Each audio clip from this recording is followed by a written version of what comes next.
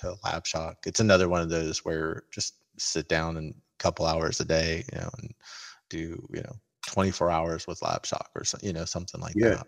So Yeah, cool.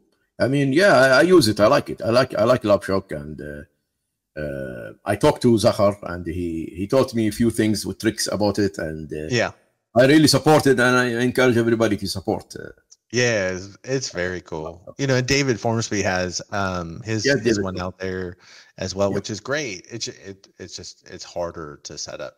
I think for folks, it takes Mm. up more resources because it's not it's not in uh, Docker.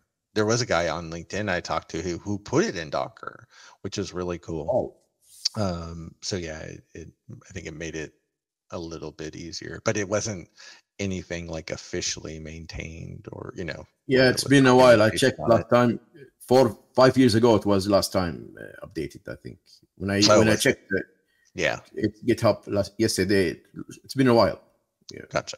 Yeah, yeah. So It's yeah, really I- cool I- concept, but yeah, I, I encourage uh, David now if he watches us, maybe so update it, maybe or put it on a Docker. So we, we- we'll have options between LabShock and and uh, David.